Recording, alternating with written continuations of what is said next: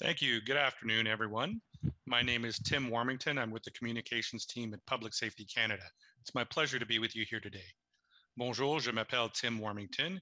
Je suis membre de l'équipe de communication et sécurité publique Canada. C'est un plaisir pour moi d'être avec vous aujourd'hui. Today, the Honorable Bill Blair, President of the Queen's Privy Council for Canada and Minister of Emergency Preparedness, is joined by the Honorable Mike Farnworth, Deputy Premier and Minister of Public Safety and Solicitor General for British Columbia, for a media availability following an FPT meeting with the federal, provincial, territorial ministers for emergency management.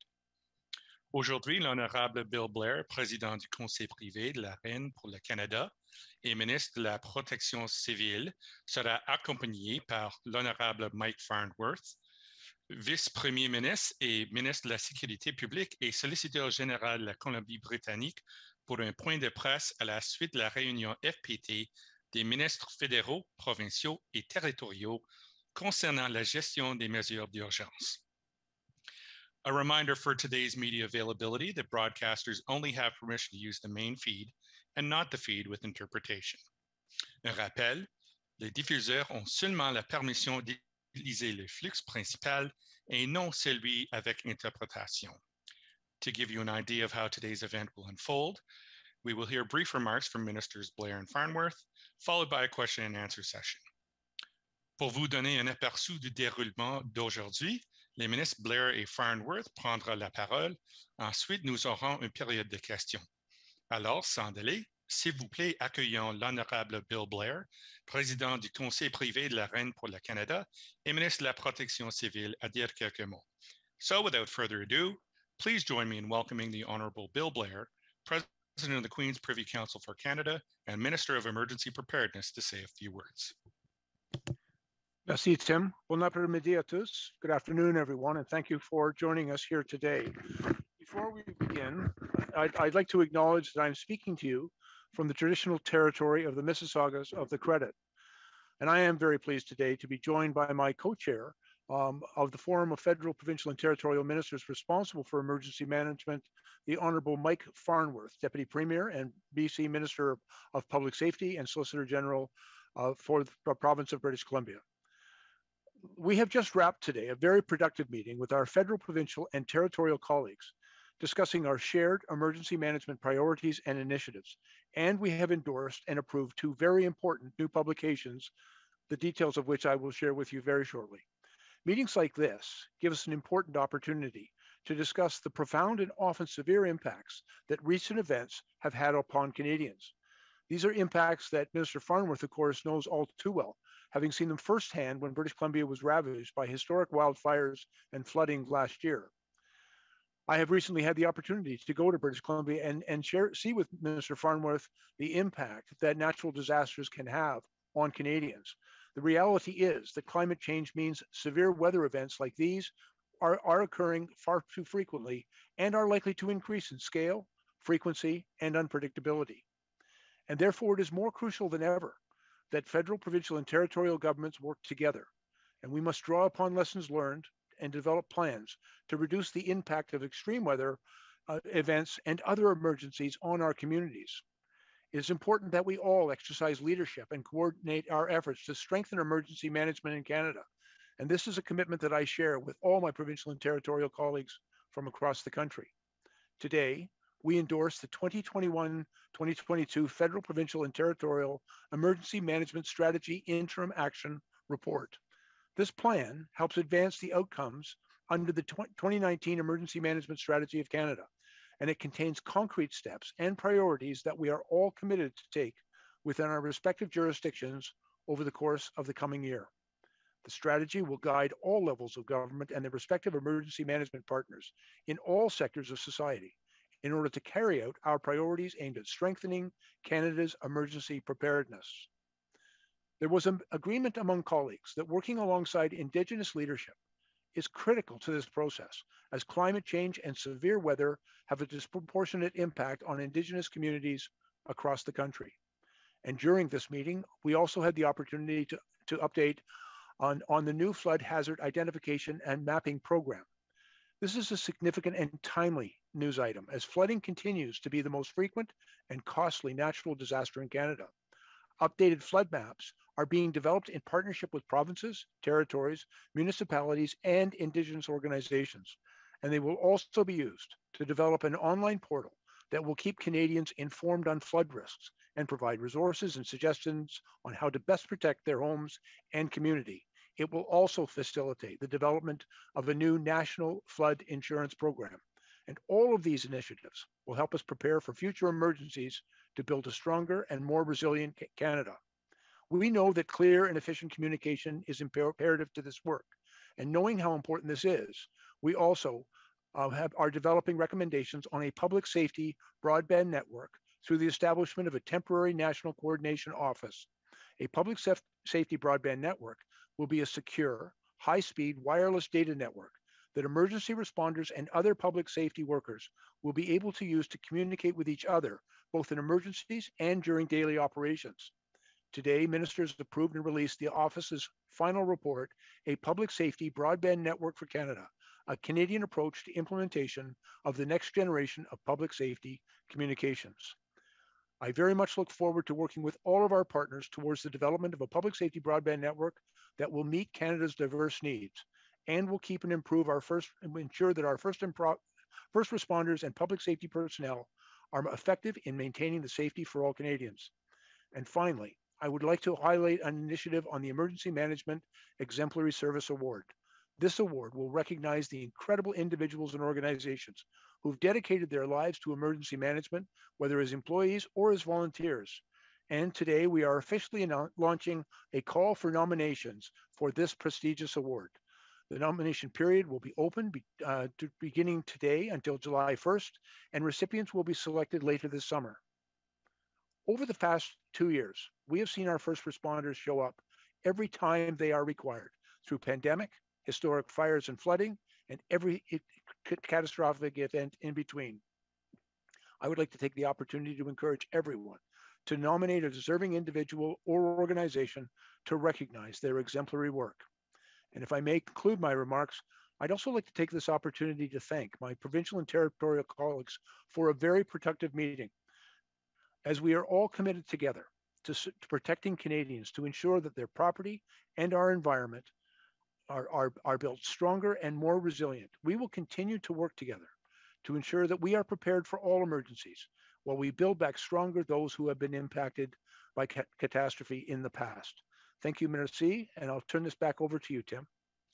Thank you, Minister Blair. Merci, Ministre Blair. Maintenant, j'invite l'honorable Mike Farnworth, vice-premier ministre et ministre de la Sécurité publique et solliciteur général de la Colombie-Britannique, de prendre la parole. I now invite the Honorable Mike Farnworth, Deputy Premier and Minister of Public Safety and Solicitor General for British Columbia to speak. Thank you. Good afternoon, everyone. And um, I'm Mike Farnworth, the Minister responsible for emergency management in British Columbia. And I'm pleased to be speaking to you virtually from the territory of the Coast Salish peoples. I'd also like to thank my federal, provincial, and territorial colleagues for a great conversation today. While recent climate related disasters have been amongst the most challenging on record here in British Columbia, people across the country have endured extreme weather over the past year, whether it's flooding, wildfires, windstorms, or drought. That's why today's discussions and the actions coming out of it are so important. Today, we unanimously endorse the 2021-22 Emergency Management Strategy Interim Action Plan this plan outlines steps to each jurisdiction will take to strengthen our resilience to disasters. And we discussed funding the from Natural Resources Canada for new and updated flood maps. Floodplain mapping that will help provinces and territories identify areas at risk during extreme weather events and help us identify the priority areas for improved diking. We've also discussed the Disaster Financial Assistance Arrangement Program, and how to make it as effective as possible so we are providing the appropriate support to Canadians after a disaster. And we're all committed to working in partnership with Indigenous leaders and communities to improve emergency management supports. And looking forward to further work in this area. In British Columbia, at our time of need during the flood response last fall, the federal government and other provinces answered our calls, our calls for support. Coming out of this experience and the discussions with colleagues today, We all agree that we need to continue to work in partnership and collaboration because together we can strengthen our resilience and response capabilities to better protect people from future disasters. I want to thank my colleagues for a productive meeting and for bringing their knowledge and experience to the table today. Thank you. Thank you, Minister Farnsworth. Merci. Nous passons maintenant la période des questions. We will now open the floor to questions to give everyone a chance to participate. Please limit yourself to one question and one follow-up. Also, we would be grateful if you would specify if your question is for Minister Blair or Minister Farnworth. Afin de donner la chance à tout le monde de participer, veuillez vous limiter à une question et un suivi. Nous vous serions également reconnaissants de bien vouloir préciser à quel ministre vous souhaitez adresser vos questions. Operator, please proceed with our first question. Nous sommes prêts pour notre première question. Thank you, merci.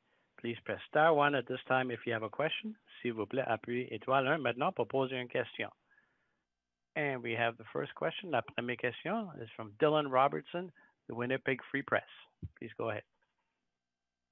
Uh, Minister Blair, thanks for taking our questions. Uh, what can you tell us about how you envision changing DFAA's funding formula to incentivize prevention, and how did your provincial colleagues react to what you were putting on the table today? Uh, th- thank you, Dylan. And, and, and it's, an, it's an important question. And, and just for those who may not be aware, um, Canada has what is called a disaster financial assistance arrangement. And, and in the event of, of, of natural disaster um, occurring anywhere in the country, the first response is almost inevitably coming from the provinces and territories, as Mr. Farnworth will know all too well.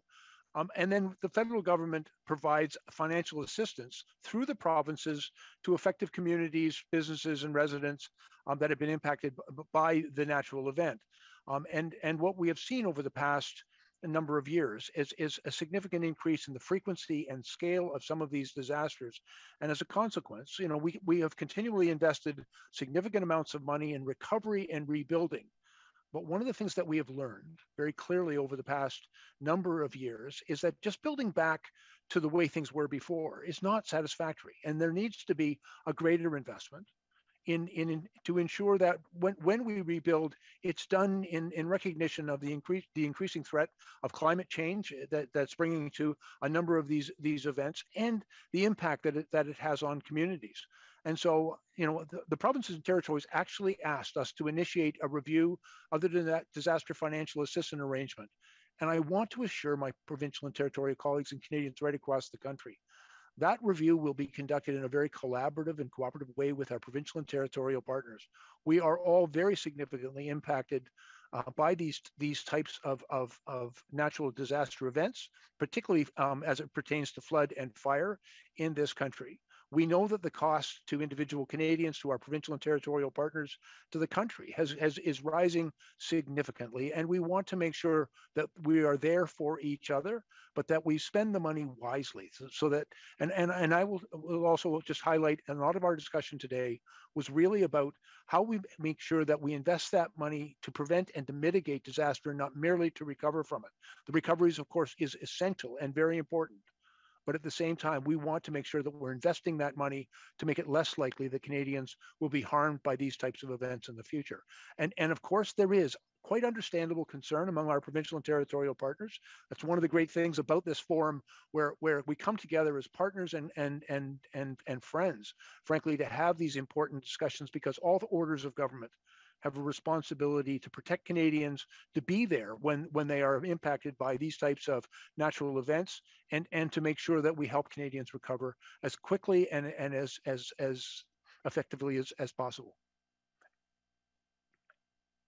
Thank you. And um, I'm wondering if you might be able to put into plain language what that reform might look like, because I know that you're starting the process to consult on what DFAA will actually look like but I'm wondering, you know, are we talking about like a sliding scale in terms of, uh, you know, compensation based on how much of the properties are in, in a floodplain still?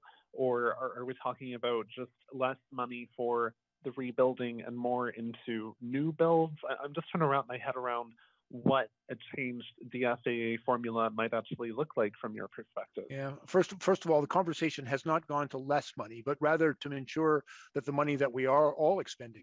And, and by the way, although the federal government has a significant role and responsibility through the DFAA program, the cost in responding to these disasters is also very significant for, for our provincial and territorial partners. Um, there, there are a number of elements of, of the DFAA program that I think just simply need to be modernized. And one of the things Minister Farnworth and I have been discussing uh, quite extensively is it, it, it is as a result of the rebuild that is now required um, in, in, in British Columbia, um, arising from the heat dome event, uh, wildfire season, and unprecedented flooding that, that, that occurred in British Columbia. We want to make sure that, first of all, we're there for the people of British Columbia, as we would be for in any uh, community or, or province and territory across the country.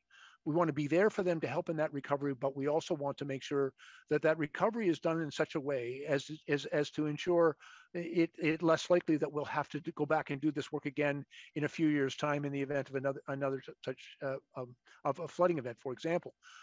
In, in plain language, though, but I, I think it also re, re identifies that a number of people, for, for example, with overland flooding, Canadians can't get a can't currently get um, insurance for that type of, of, of a natural event.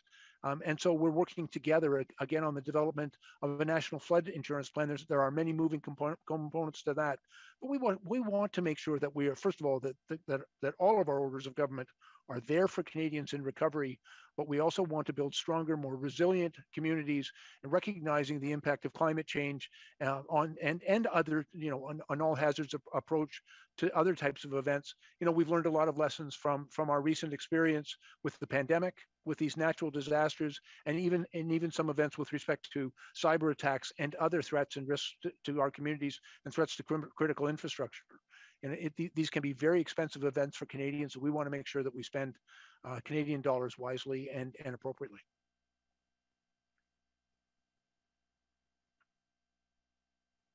Thank you. All right. Merci. Thank you. La question suivante. The next question is from Colin Freeze the, from the Globe and Mail. Please go ahead. Uh, hi, ministers. Thank you for engaging. Um, obviously, paying for who, disasters to clean up the remediation is one big part of emergency management. Another big part of it is is warning people about imminent disasters as they are happening.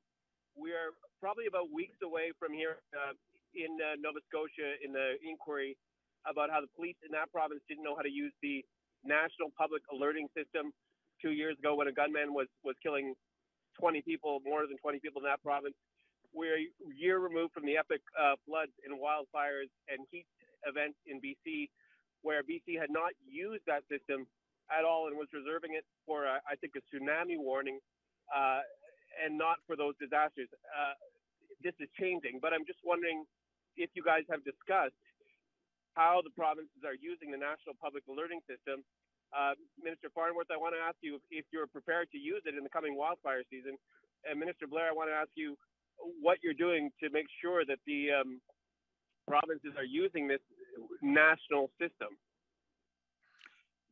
And, and, Colin, let me let me begin, and, and then I, I think I, I, know my colleague and friend Mr. Farnworth will, will want to speak to this in British Columbia. But you know, you're you're referring to the National Public Alerting System, and and you know the, the I believe it's it's it's critically important. The first responder to the vast majority of emergencies in this country is is not the police, fire, or ambulance it's the public. The public responds first uh, to, to, the to the advent of, of, of, any kind of a disaster, and making sure that the public is is informed in a timely way and given the information that they need in order to take the steps necessary to keep themselves safe is a critical part of of our efforts to keep people safe, and that's why we, you know, are have developed a national public alerting system we have there are there are issues of governance, consistency, accessibility, how it's being used in, in various jurisdictions, and how it's being funded. And and and that, that did form an important part of our discussion today. I can tell you there are lessons to be learned. from the, the mass casualty inquiry that's taking place in Nova Scotia and the terrible tragic events that took place um, in, in April of, of, of 2020 in Portapique, Nova Scotia. There are also lessons to be learned from our experience in other jurisdictions as they face floods and fires, and I'm sure Minister Farnworth can speak to this. We recognize the importance of ensuring that Canadians have access to timely information to keep themselves safe through the, the, the, the, the enhancement of the National Public Alerting System. We recognize and discuss today that we have work to do, but it's a priority for for our group. We we do have um, a, a, a review team going working doing that work right now, and I'm sure Minister Farnworth can speak more about that because he spoke to it today at our meeting. Mike. Yeah, no, thanks, Bill. Yeah, it is our intention. It was announced in our recent provincial budget that it's BC's intention to have uh, the alert ready system, uh, broadcast intrusive, uh, in place for our freshet season. Um, we've been working very closely with local government and the uh, uh, Indigenous uh, communities of British Columbia to make sure we've got a system that will work uh, in on, on recognizing that a number of municipalities, uh, local governments already have alert systems, and so we're making sure that there's no duplication and overlap, and that's that's quite a complex process. But that being said, it, it's our intention that we have uh, a province-wide system in place and ready for the uh, the set season and the uh, upcoming fire season.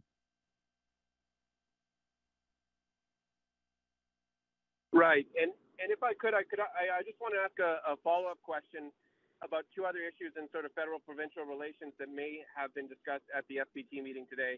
Uh, I'm wondering if you discussed the issue of who is going to pay for the 20% across the board RCMP raises that were negotiated by the federal government earlier this uh, last year in 2021.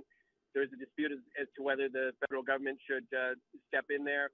I'm also wondering if um, there was any discussion as to whether how civilian police can investigate sexual assaults on military bases, uh, given the questions of jurisdiction that, ha- that have arisen uh, in in places like CFB Esquimalt, where uh, where the nearest local police forces may not feel all that well equipped to uh, to do this. I'm I'm just wondering if these issues were discussed at all, or if, if there's a way forward. Yeah, and and to be too clear, Colin, first of all, I'm well aware of of, of both issues, um, and and certainly uh, issues and discussions to take place with provinces and territories that have contracts with uh, uh, the RCMP to provide policing ser- services in their jurisdiction, and the the over 150 municipalities that also contract with the RCMP. Those are very important discussions, but they didn't. They're not taking place in the context of emergency management, which is which was the the, the purpose of today's meeting. There is another uh, table that we convene uh, with respect with public safety ministers that will would speak to that issue, but it wasn't on the agenda today. And similarly with with the issue you you raise about um, the, the the objective and independent investigation of certain types of allegations, that that is more appropriately for that other table. Today we've we've we focused um, our discussions primarily on the work that the provinces, territories, and indigenous um, governments do together in order to respond to to emergencies um, in in this country, and and we did not talk specifically about the delivery of policing services. There is there is a forum for that, and it wasn't the forum that we were in today.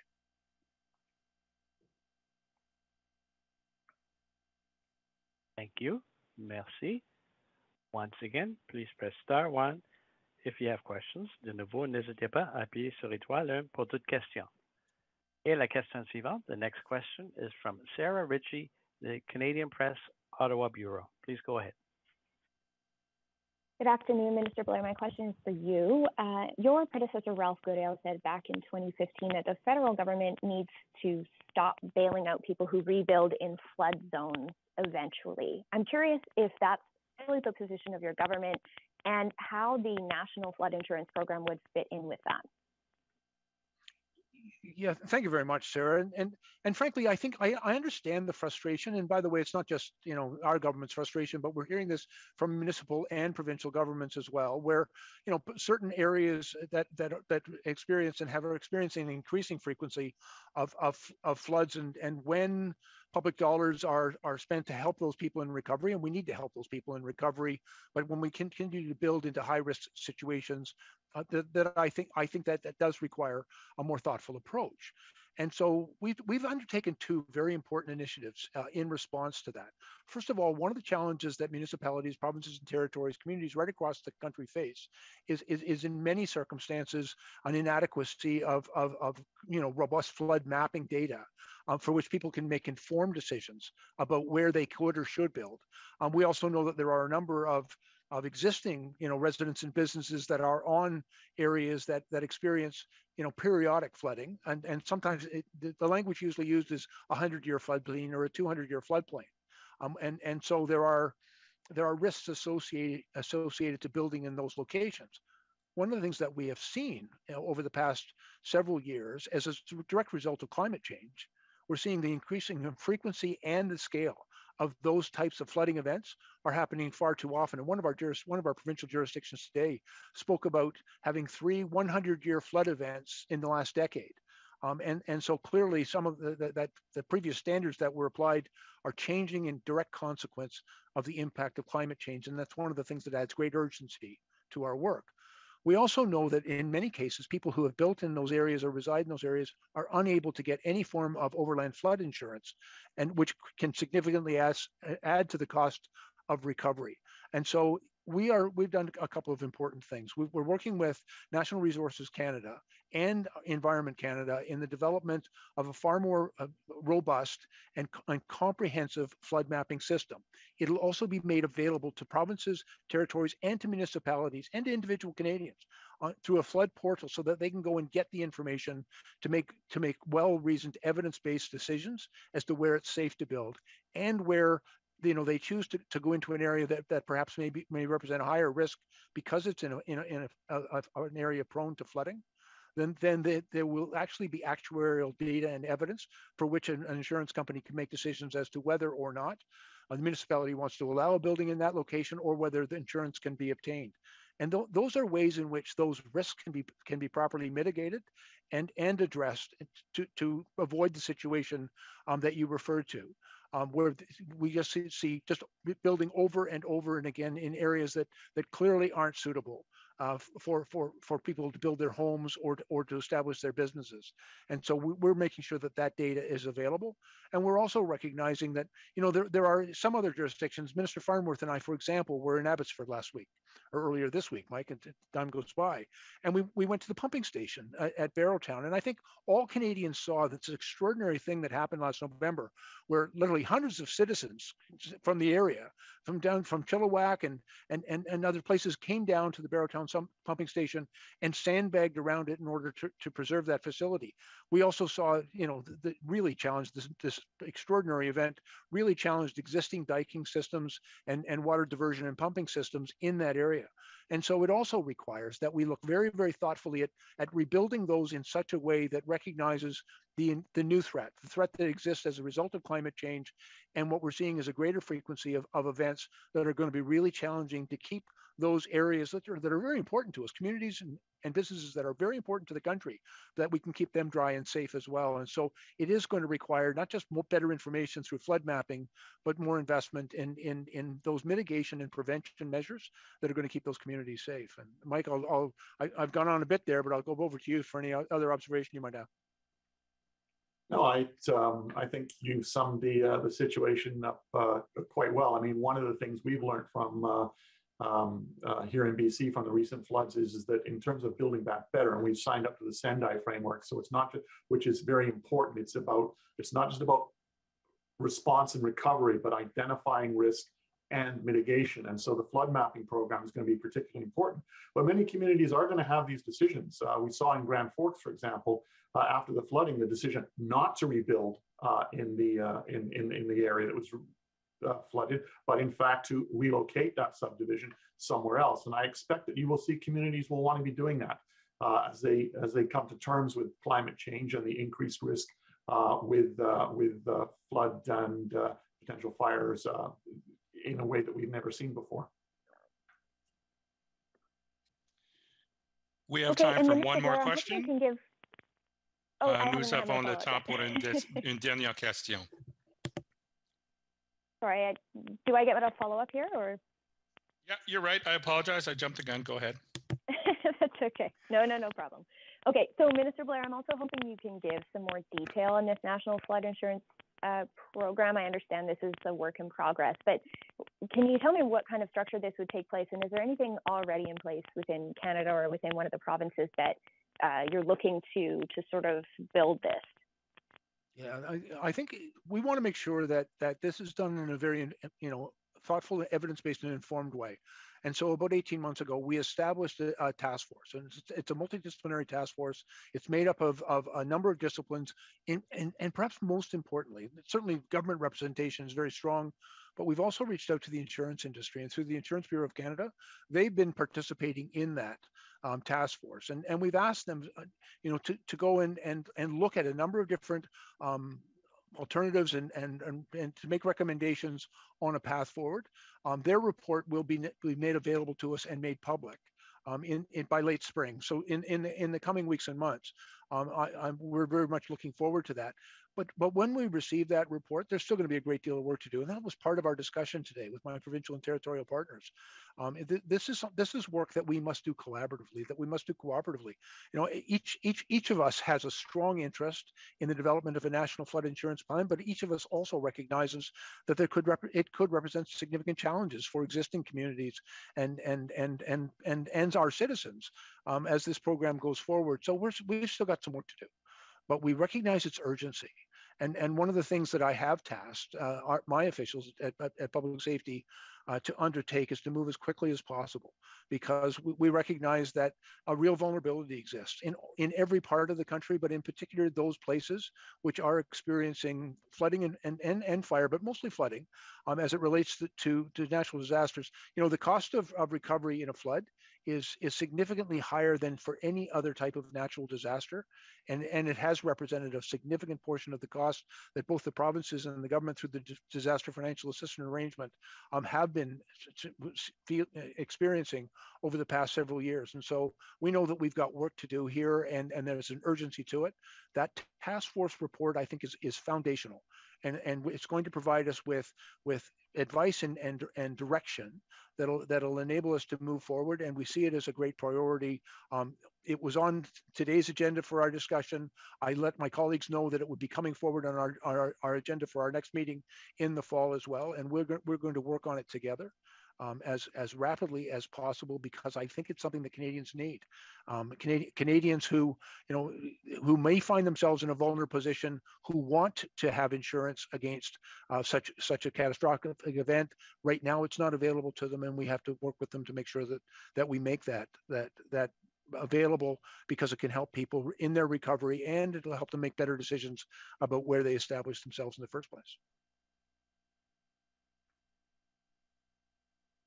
Et la dernière question, the last question will be from Dylan Robertson, the Winnipeg Free Press. Please go ahead. Uh, hi, thanks for taking my questions again. Um, I'm wondering, Minister Blair, um, are you getting lobbied over the flood mapping proposal? Because clearly some groups would be losing cash if that amount of mapping is made public. Dylan, let me acknowledge. First, there, there's there there is there is actually there's there's a reality in your question which which is true that if, if you happen to own property uh, that's identified and made publicly identified as as being at risk because it's on a floodplain, it could it could affect the value of that property. Uh, there, it also has has some potential. I think for those who are already located in high risk areas, um, that that it, it it could have an impact on on on on the market value of of of, of those homes or that business. But at the same time i think the real value of developing this this information and making sure that it's available to communities and to canadians and uh, if it's coupled with the, the, important work of developing a national flood insurance plan, we can actually create better protection for those properties, and we can make better decisions with respect to, you know, where we're, we're going to build, where we, where our communities are going to invest.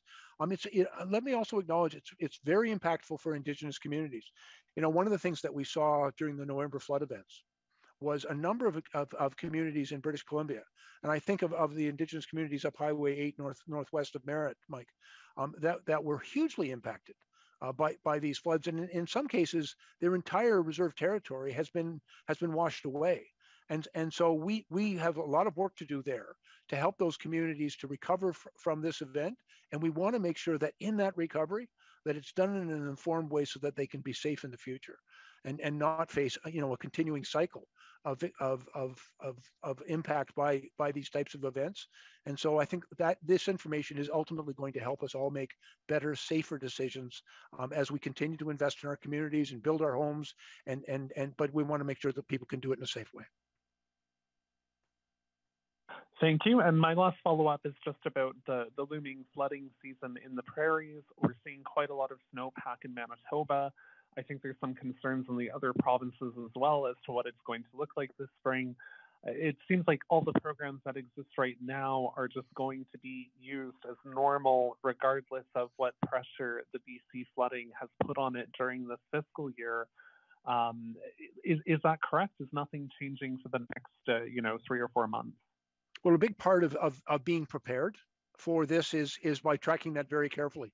I will tell you there was a discussion today with both Saskatchewan and Manitoba about you know th- these are areas particularly in southern uh, uh, Saskatchewan and much of Manitoba that have been experiencing drought, which is another form of natural disaster um, over the past uh, a few years. And now they're seeing a very significant snowpack, and and you know much depends on how it melts. Um, I, I, for example, in, in my discussion with um, Minister uh, uh, Piwniuk today from uh, from from Manitoba. We we talked about the preparation and the work that that that Manitoba has been doing in preparation, and and and in in, in Manitoba to to deal with the potential of floods that could happen in keeping highways open. You know, they've done some very good work in Manitoba um, with respect to you know the building of dikes and levees and and other you know flood mitigation efforts. Uh, but but but they're they're very thoughtful about it, and and we'll be there to, to support them in every way possible. And so making sure that people are well informed, and and that there's a close analysis on this done, and we and we watch the weather carefully. Like one of the things that certainly we, we learned in, in the in the various early days of both the heat event, the flood, the fire season, and then the flood season, Mr. Farnworth and I, for example, in in, in British Columbia, we're, we're in regular communication and and making sure we were mobilizing resources as early and as quickly as possible. The the the, the, the, the consequence of that event was was still catastrophic, but but the, better we're able to inform people to to take steps of mitigation. Um, you know, we're working on that now, certainly in Saskatchewan and Manitoba, but we know that that that, that we can do even better, and that forms a lot much of the work that we are undertaking today at, at the joint ministers, federal, provincial, territorial ministers uh, meeting to discuss this and the work that we'll continue to undertake um, in the coming weeks and months. Mike, any, anything you wanted to add? Because I know you're watching the freshet situation in British Columbia very carefully as well. Yeah, no, we are. We've uh, we've got a significant uh, snowpack monitoring uh, throughout uh, British Columbia, uh, and, and it varies. In the Northeast, it's 146 percent of normal. In the Okanagan, it's 86 percent of normal, and the average around the province is 103. Uh, what's critical to us, of course, is is how it melts. Um, if we get uh, rapid melt, that creates problems. If we get a slow, steady melt, then we're ready. But what's also important is making sure that we've got the ability to deal with our diking uh, and that our dikes are upgraded and there have been repairs taking place to the dikes um, since our last floods. Uh, but again, um, in BC, we wait, uh, sorry, it's not that we wait, that the most important forecast we will have will come at the beginning of April, because that really will give us an indication of the, the amount of snow, snow and the way that it's, uh, the way that it is melting and, and what we can expect. Yeah, and, the last thing I might add to that, eh, one of the things that we've heard is that in, in every case, you know, f- first of all, the, the, the first response to, to these types of events in British Columbia, for example, is Emergency Management BC, and and and you know they they're very well uh, organized and and and very responsive. And when uh, some of these these events exceed the capacity of the local jurisdiction, they reach out for help as well. And and so we, we, federally, we're also working with Canadian Armed Forces and with Canadian Red Cross and other civic partners, um, civil in, in civic society, in order to develop, uh, for example, a humanitarian workforce to respond to these types of events and to make sure that when the provinces uh, phone and, and and and and reach out and say, you know, that that, that they need some help, um, we we are able to respond as quickly as possible. And you know, we've seen how effective this is. And and for example, in our in our our co-chair today, um, uh, Richard Mostyn, he talked about uh, when the Yukon faced very significant flooding events last year. They reached out to the federal government, but they also reached out to their provincial partners.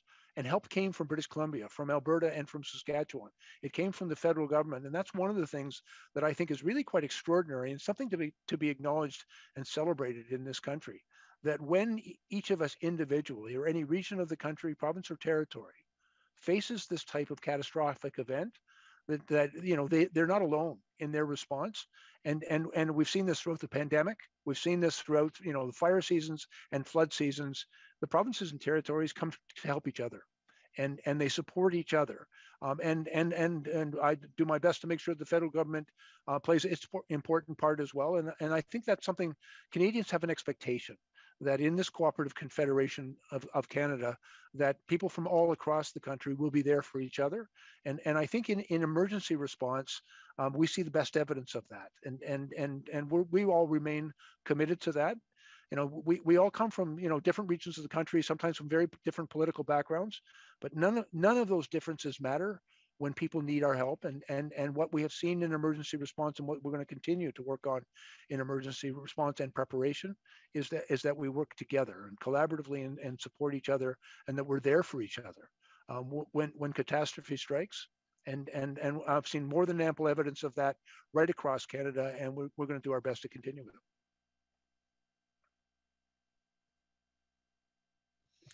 Merci. Ceci conclut l'événement d'aujourd'hui. Si vous avez des questions supplémentaires, nous vous invitons à envoyer un courriel à l'équipe des relations avec les médias du ministère en question. Thank you. This concludes today's media event. If you have additional questions, we invite you to call or email the media relations team of the relevant department or ministry represented today. Thank you.